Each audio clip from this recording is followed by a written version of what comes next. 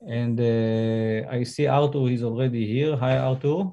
Hey, hey, good to see you. Good to see you. Uh, unfortunately, it's not in person, but uh, next time. Uh, let me introduce a, a, great friend and also a professor at Tel Aviv University, Professor Artur Ekert. He is uh, at the University of Oxford, and he is also a chair professor at the National University of Singapore. He's the founding director of uh, the Center for Quantum Science, Quantum Technologies in Singapore. He's also a Sackler professor, distinguished Sackler professor at, at Tel Aviv University. And Artur, the floor is yours. The Zoom is yours. the Zoom is mine. Thank you so much. Uh, thank you, Yaron. It's it's uh, it's a pity that I cannot be there in in person, but you know, it is what it is, I guess. So let me try to pass the first test and see whether I can actually um, share the screen with you. So here we are. Okay. So um, the talk that I'm going to give is is actually not a technical talk. It's it's a it's a sort of an overview of what happened to the field, um, which is an interesting fusion of uh, uh, cryptology and essentially basic physics, quantum physics.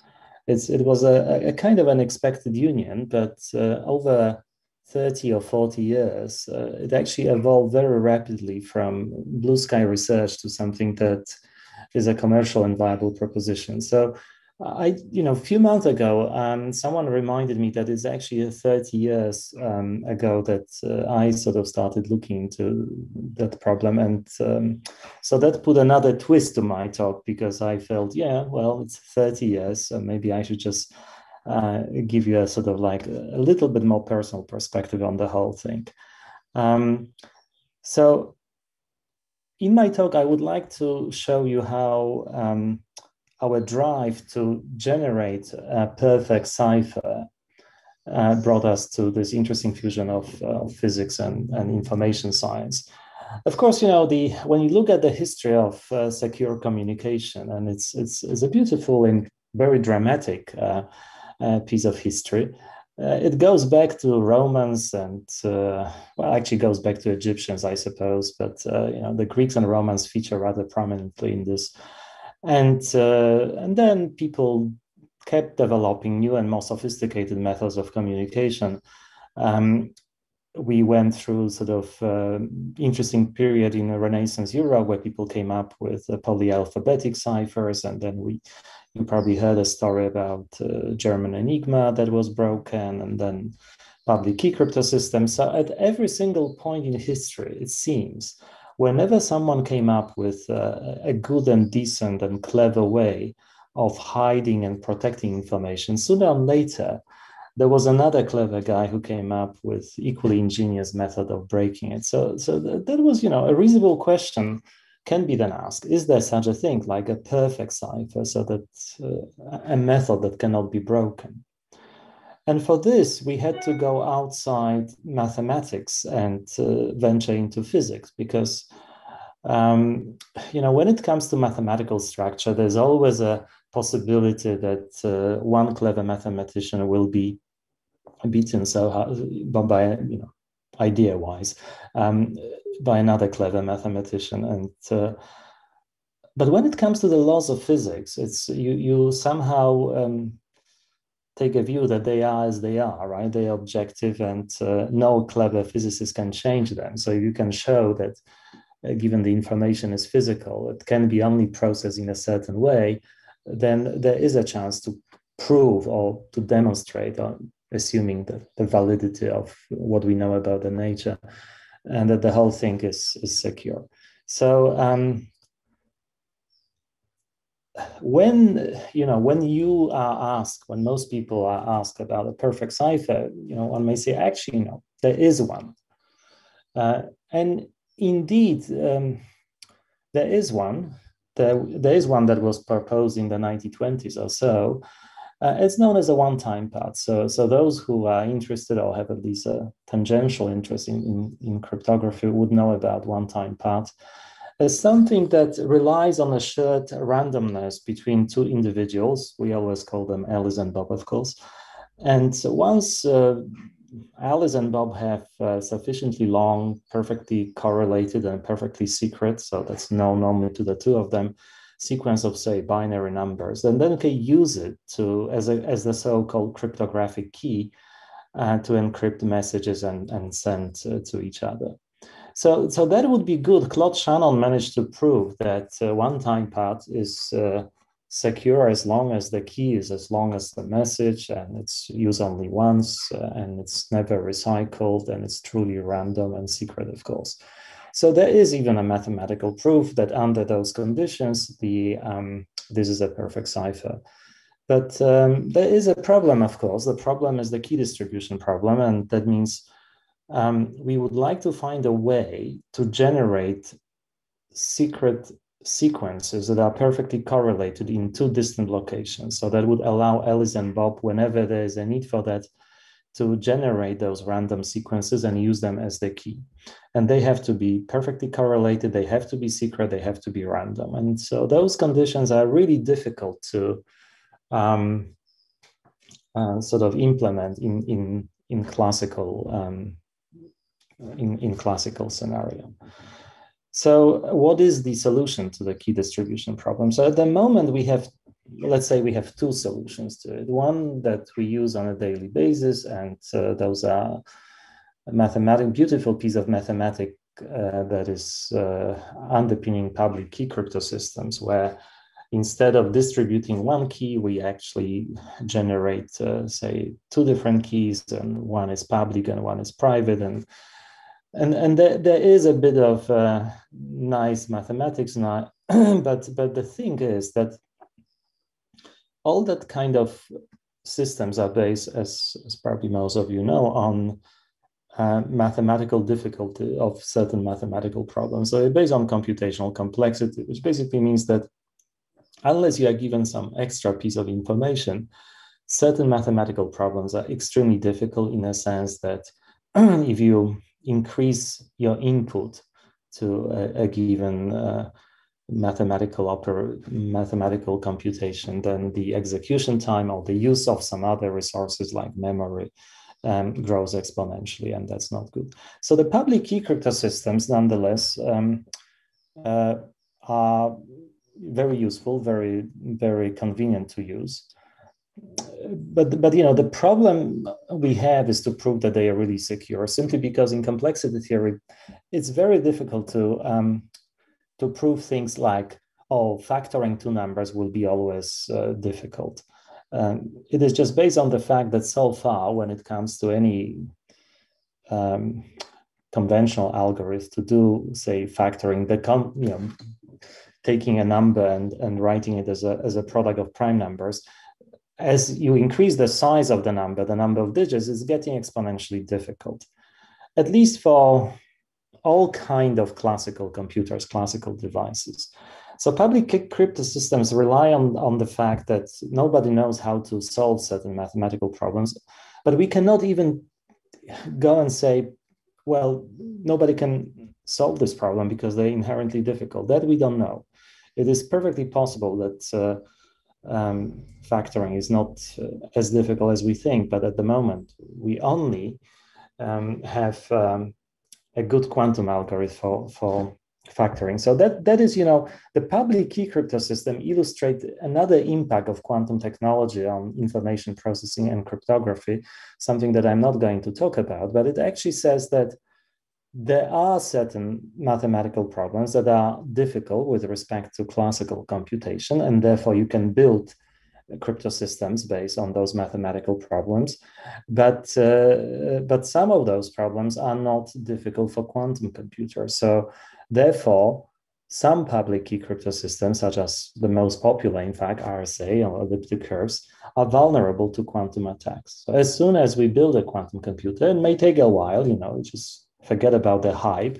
It's not exactly uh, around the corner. It's not going to happen next year or even perhaps five years or who knows, maybe not even 50 years from now. But, but nonetheless, there is a real um, danger that uh, if it happens one day and the encrypted data that should stay longer than that one day um, will be vul vulnerable. So, so it makes sense actually to do something about it now. And therefore, as you probably know, National Security Agency and, um, and others came up with a call for what is called a post-quantum or quantum-resistant cryptography. So to design um, a public key, classical public key crypto system that is difficult even to, to break, even by quantum computers. And you know there are some problems that we think uh, um, um, will be difficult for quantum computers. But again, we cannot prove it. So I'm not going to talk about this. So this is like an interesting area on its own. But let me just focus on another solution that is uh, called quantum cryptography. So another way to solve the key distribution problem is to use quantum phenomena. And uh, you can use uh, phenomena such as uncertainty principle. So the two of my colleagues, uh, Gilles Brassard and Charlie Bennett, came up with the idea. And you can also use quantum entanglement. That is something that I proposed. Now I'm going to talk about uh, the path that quantum entanglement takes us to simply because uh, not not because it was kind of a my baby but but more because actually it offers certain uh, interesting direction it leads us to device independent uh, uh, cryptography which i would like to, to to tell you a little bit about so um, well never mind the origin of the whole field um, but um, so let me take um, the the sort of like a historical perspective how it started on the physics side, and then I will just bring cryptography to, to the whole thing. So about 90 years ago, Albert Einstein and uh, together with uh, his colleagues Podolsky and Rosen wrote a paper about essentially about his unhappiness with uh, quantum physics. Um, that was uh, about the nature that the statistical predictions was only the, the, you know everything that was there um, somehow um, Einstein felt unhappy or just thought that there's not perhaps such a thing like inherent randomness, and this randomness comes from the lack of knowledge, and, and perhaps it's just a phenomenological, not quite complete uh, theory. And therefore, if we work harder, sooner or later, we'll just fix it. So we'll be able to make predictions properly. And uh, so he actually was very good at coming up with paradoxical consequences of, of the of uh, of different way of calculating statistical uh, properties. So, so just if you think about it, those of you who are not physicists may take a view, oh, quantum theory is actually a different kind of probability theory. We just simply ignore one axiom, like Kolmogorov axiom about additivity, and we use some complex numbers and there is a machine to generate probabilities, but they are calculated in a different way. So Einstein just showed that, you know, if you are calculating those things in a different way, so it just also has some kind of serious philosophical angle to it that you may start even if you start thinking what does it really mean how can you understand certain things and you are somewhere near questioning the existence of uh, certain the existence of certain properties you know which is so but anyway, so what was interesting in this paper was that Einstein tried to describe something. When you talk about existence, you want to define the existence somehow, and he, um, you know, he's he was a physicist, not a philosopher, so he had to actually make be more precise. So he um, uh, defined an element of reality in a way that um, is um, for me, it was actually very important to, to think about the connections between his work, this work, and, and, and crypto.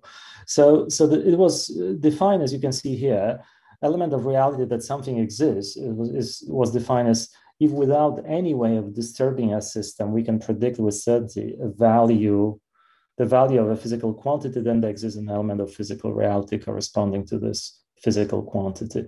So so the thing that if you learn about the value of something without disturbing it is actually a definition of perfect eavesdropping so if you think about what eavesdroppers really want they want to learn the value whether it's value zero or value one of a physical property of the carrier of information without disturbing it in any way so this is the way that uh, an eavesdropper can fool uh, the legitimate users, Alice and Bob in this case. So, so in a way, you know, you can take it as a definition of eavesdropping. And if you take it as a definition of eavesdropping, as you'll see in a moment, it's just easy to connect this work with, um, uh, with uh, the subsequent work, which shows that there are cases where there isn't any element of physical reality.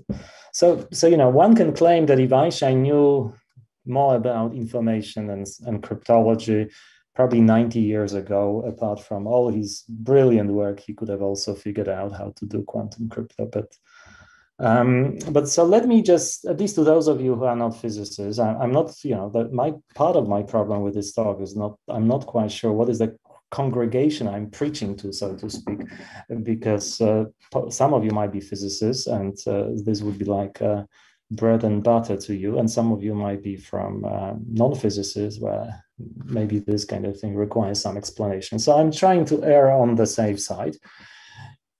Um, so let's let's take a look at the um, the argument that takes us from the Einstein's element of reality to crypto. Um, so take, for example, that's not exactly how Einstein phrased it in that paper. So it's a sort of more modern version of, uh, of his, um, of his uh, argument.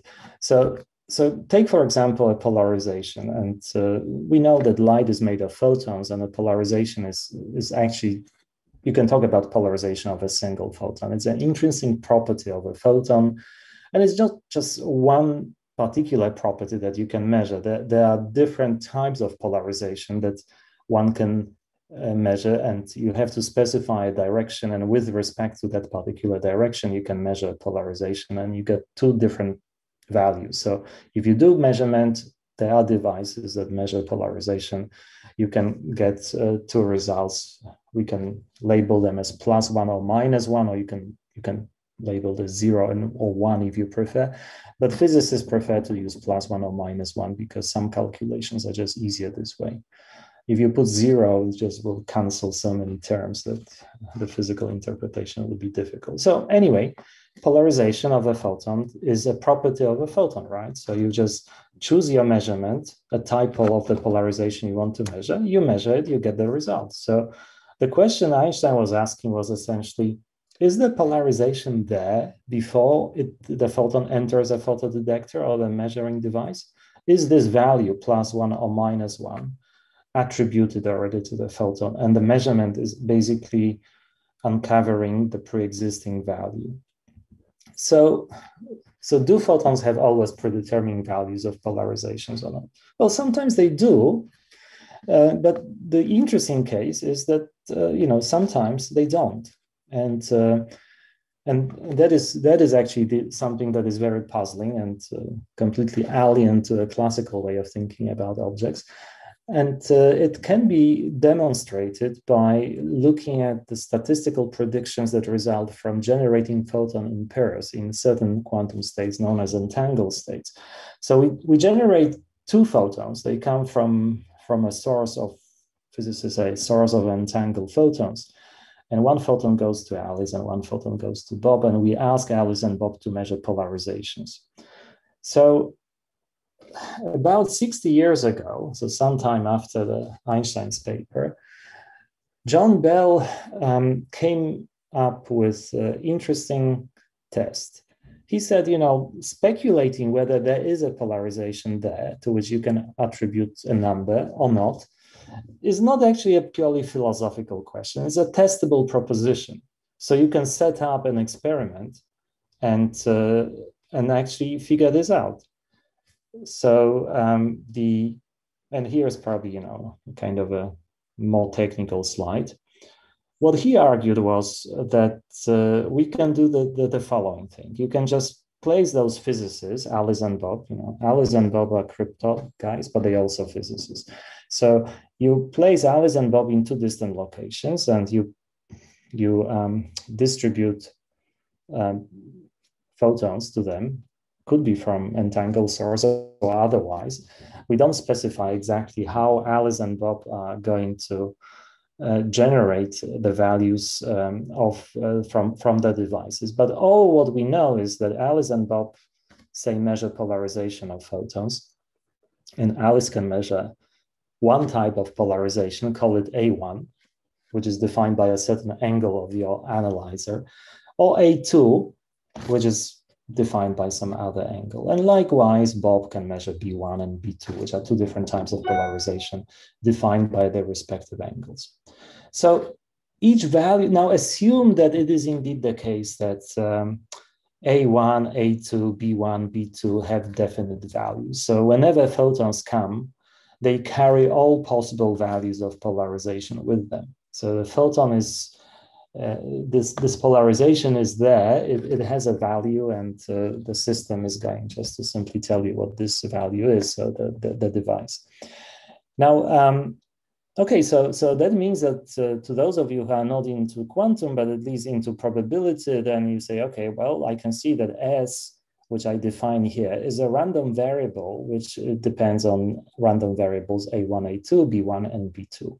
And A1, A2, B1, B2 are binary random variables, so they can only take two values, plus one or minus one. So therefore, if you look at this expression, you can see that those terms in brackets, B1 plus B2 or B1 minus B2 are either zero or plus or minus two. So therefore, S can only take two values, plus two or minus two.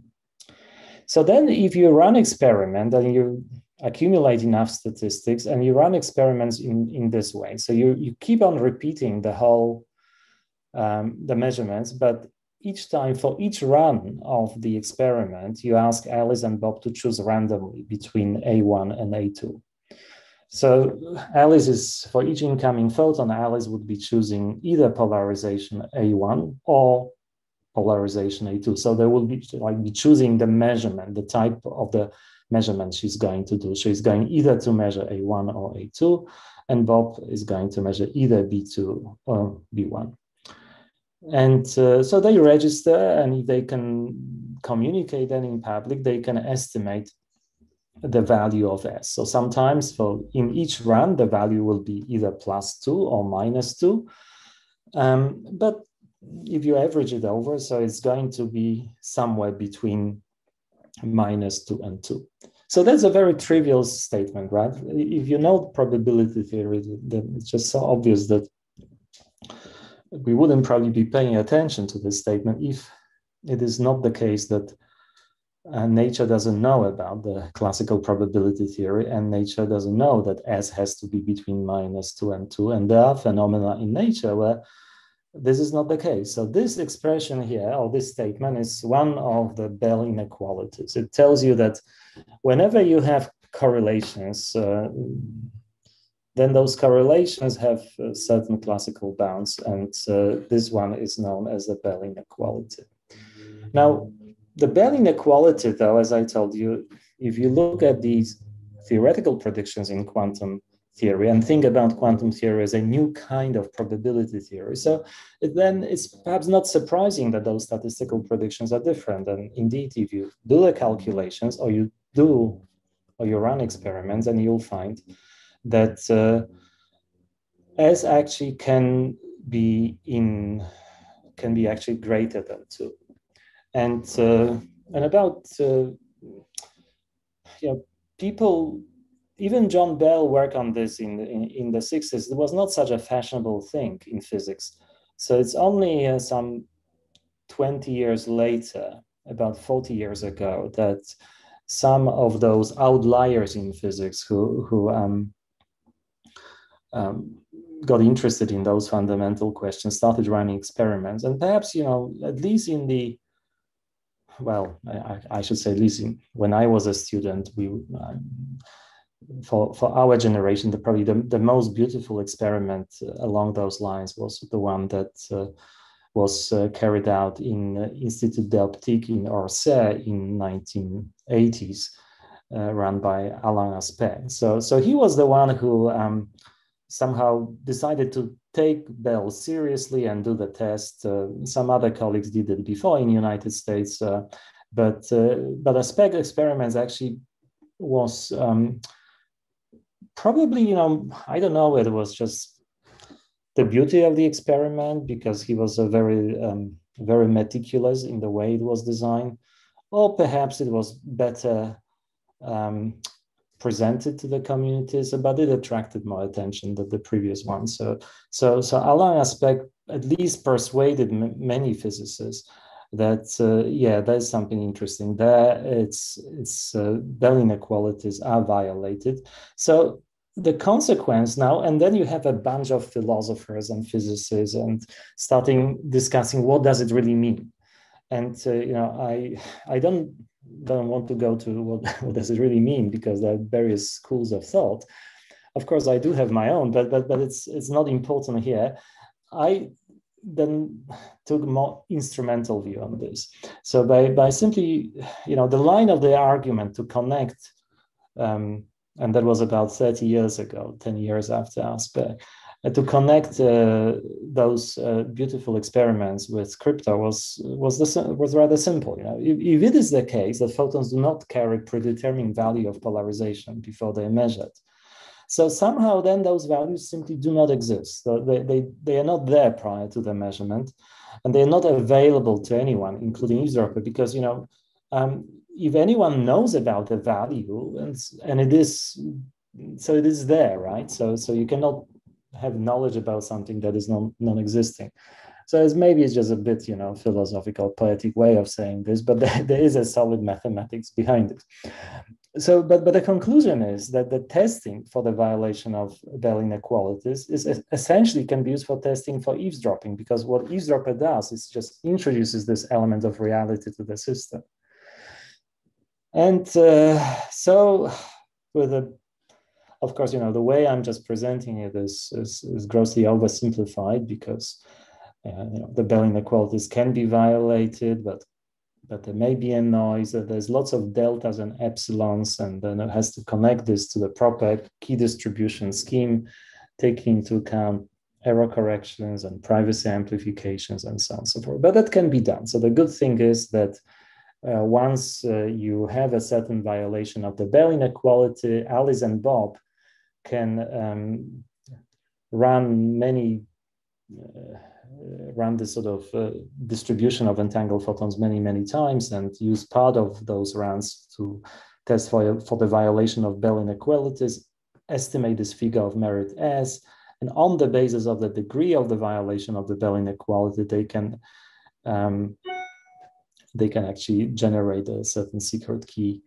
uh, which which is uh, essentially what we want from this experiment and uh, and this can be demonstrated. And in the early days uh, it was uh, difficult actually to persuade uh, people working on the foundations of um, of uh, quantum mechanics to to to on experimental side at least to um, to do something which looked like a more practical aspect of it, but but not for everyone. So I, I was actually lucky to to work together with John Rarity and Paul Tapster, two two brilliant uh, guys who used to work um, at what used to be called Defense Research Agency in Malvern, uh, not far away from Oxford. Um, and uh, by doing those experiments, uh, where we wanted to prove that indeed uh, uh, the entanglement-based secret key generation is possible.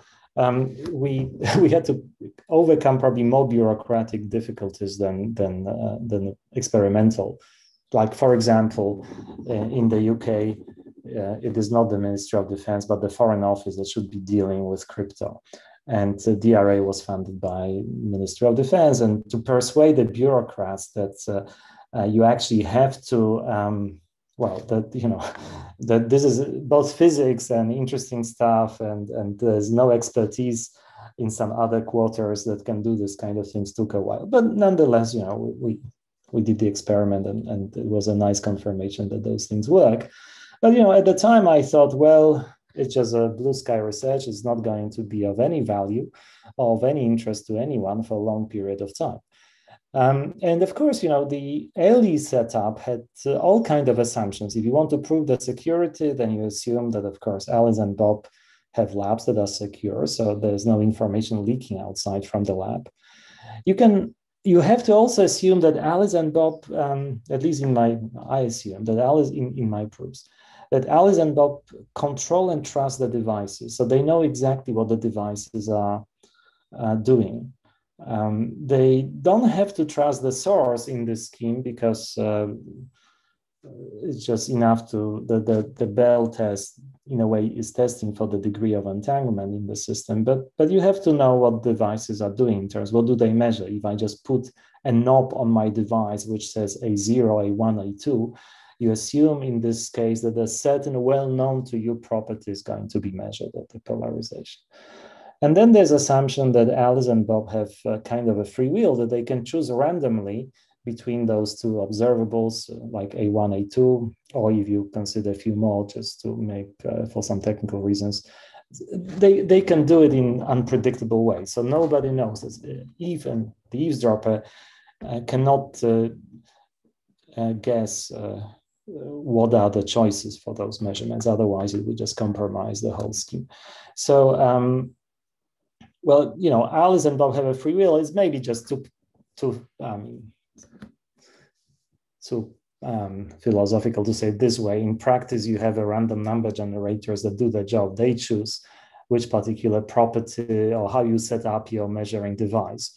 But it's, it's actually important that those devices um, uh, independent from, from, from the setup. And uh, so, so, so there are assumptions, but the interesting thing that uh, I didn't realize was that um, actually some of those assumptions can be dropped. And um, so it is, it is an interesting case that sometimes you have an idea and your ideas are more clever than you are because they contain certain ingredients that you don't see. Um, and uh, and indeed, in this case, it was uh, it was the case that the second assumption. You see, I just did a little bit of a color coding. So green is something that we assume, but the yellow one, and Bob control and trust devices in the lab. This one actually can be dropped. And this is because the Bell test is rigid. So, so what it means is this, so that if you have this one figure of merit S that tells you about the, the degree of the violation of the Bell inequality.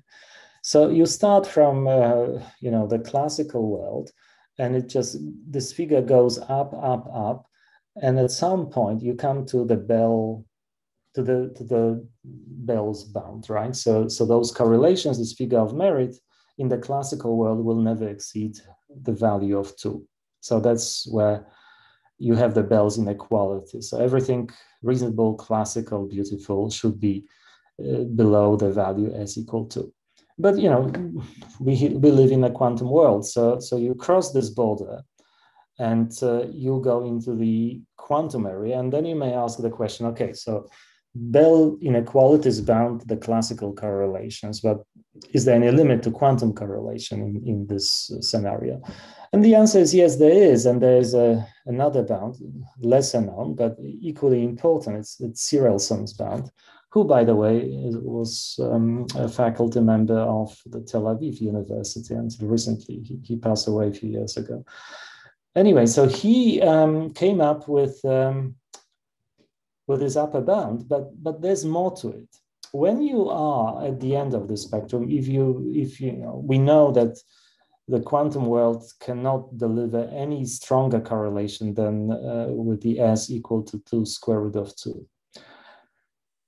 If you are there, if you see correlations that are uh, giving you this value 2 square root of 2, he showed that there's only one way.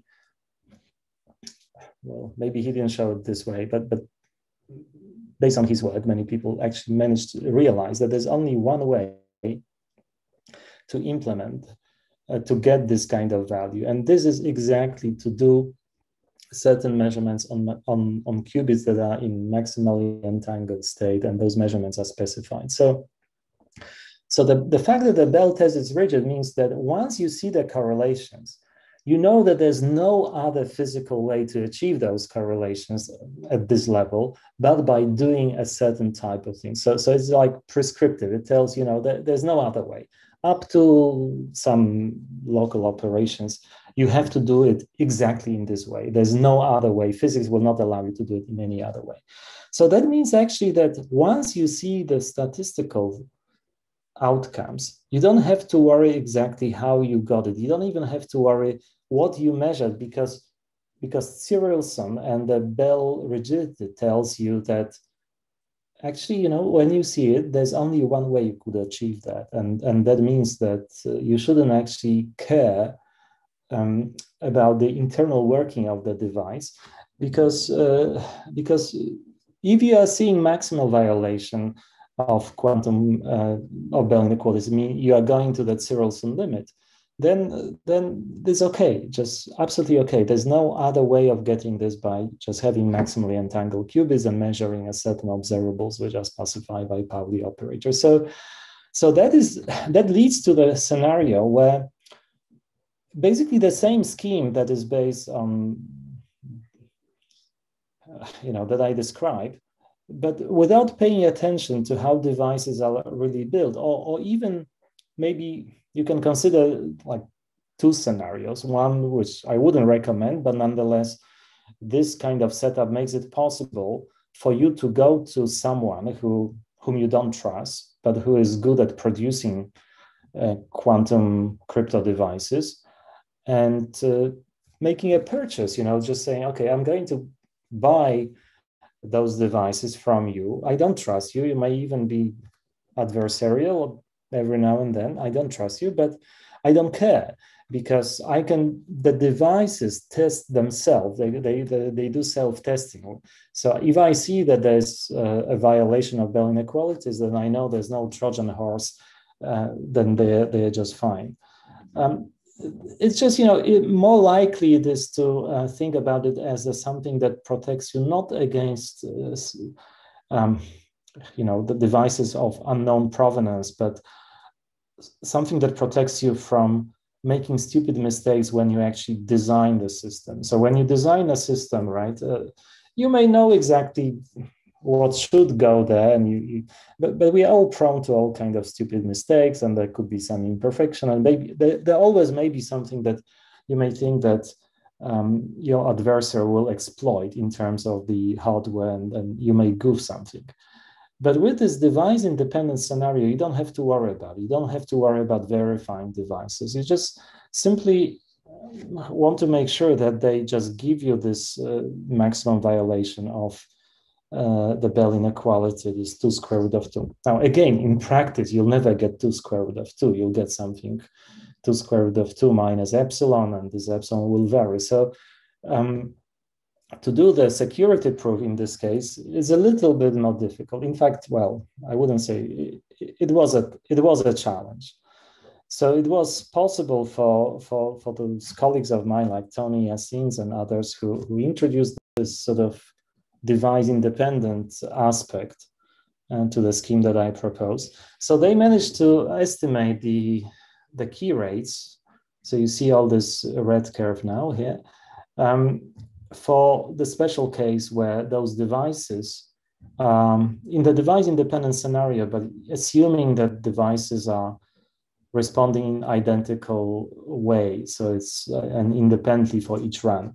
So which you know when you want to prove the that kind of um, under IID scenario that that that is not very convincing for the device independent. But but but thankfully, and this is actually the quite a recent development about two years ago, um, the, it was possible to make a very general proof.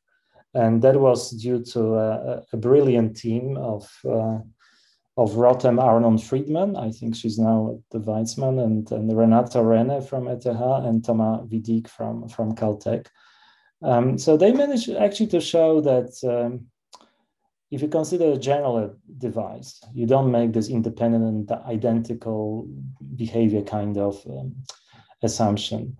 Uh, the general device, using few mathematical tricks, can be actually making mind assumptions about some the way you perform the measurement that, that you have to do it in some sequential way, but never mind technicalities. They essentially what they showed is that the most general case can be reduced in terms of uh, uh, the key rate to the IID kind of case. So, um, so that's that's the latest. So we do now know that uh, device independent is a realistic proposition. And we can fix this, but uh, this the second point, the, the, the, the, last point though, that Alice and Bob have free will and choose the observable is, is more tough. Um, because that will really push us to extreme. And uh, for one thing, we know that they have to make uh, the they have if they choose a random number generators, they don't they should, build them themselves or choose from trusted providers, not suddenly from the one that provides them with the, with the crypto devices. But even there, there's a certain room for maneuver, and I'm not going to go into this, but there was a there is a beautiful work on the uh, randomness amplification. So they don't even have a completely um, free will. They have, as long as they have a little bit of a free will, there's still a chance that something can be done about it.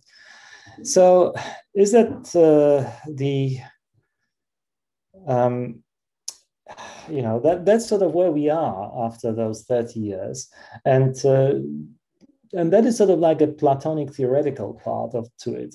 There is a lot in fact uh, going on now in quantum cryptography in terms of experimental implementations and commercial exploitation both on the land where there are many brilliant uh, ideas. And you know i have to probably say in the context of this meeting that there is also a, an Israeli, Israeli consortium that is looking into the development of quantum crypto. And it's a, a collection of uh, academic institutions and uh, startups and some more established companies. So that's that's very promising, and I think Israel will be probably playing a, an important role in the development of quantum crypto. And you know, of course, we also go to space, which is, is amazing, and uh, that was not always an easy path. In fact, a colleague of mine, Alex Ling, who will be talking right after me, pioneered, uh, and he and his team and his colleagues pioneered this uh, this kind of technology, trying to look at the looking at the possibility of sending those entangled photons um, or establishing keys using some other configurations from using satellites. And uh, not all his experiments went smoothly. So one was a spectacular failure slash success. I, I, love this one because you know Alex put his nano satellite. You know, he and his team put his nano satellite on a, on a rocket that uh, was. Uh, well, ended, you know, exploded during the um, during the um, liftoff, and uh, and uh, we lost the payload. So that was a satellite designed in the Center for Quantum Technologies in Singapore. But then, sometime later, surprisingly, the, the that satellite or that piece of equipment, the payload was found. People were looking for debris and, and, and recovering what they could recover. And amazingly, it was just in perfectly working order. So, you know, all you guys who are interested in robust quantum technology, talk to Alex. Anyway, so I'm just concluding this by saying that this was, you know, for me, 30 years of from my PhD in Oxford in 1991 to where we are now, where all those experiments are real and the Chinese are sending entangled photons from Micius satellite and so on and so forth. It was actually an interesting and humble experience. I really started appreciating how clever my experimental colleagues are. In back in 1991, I thought, well, it's not possible. Today, not only it's possible, but it's just probably, you know, people probably think too much, uh, give too much, um, or have too high expectations of these things. But again, I may be pessimistic in this. So today it's perfectly possible and it's, it's a viable commercial proposition. If you want to if you're interested in details and you want to know more, then here is a, a review that I wrote with Renato Renner on those ultimate limits to security. Um, so thank you very much. Thank you, Artur. Uh, so we're a little bit, uh, Artur, can you hear me? Yes, I think I can hear you. I'm just, okay. Yes. Okay. So we are a little bit over time, but there is time for one quick question. So you mentioned the fact that actually we changed the rules of probability and calculate differently, but actually it became very difficult to find new algorithms, uh, you know, except Shor and maybe Grover and some other hidden subgroup problems. Uh, find other algorithms, uh, find algorithms for problems that you know are doing better than classical ones. So, what do you think is the reason for that? Is it because quantum computers are not that better, or it's because we are searching in the wrong way, or? I think uh, I think Yaron, it's probably we are not yet used to. Not so many, to be honest, not so many people are involved in that because it's somewhat artificial. I believe once we have even simple quantum devices and we start playing with it, then probably we will have a chance to come up with quantum algorithms that are relevant for quantum devices. At the moment, we have classical devices, and we are thinking, we are extrapolating in a classical way. We want to find a better way of running classical algorithms, like factoring. It's a well defined classical problem.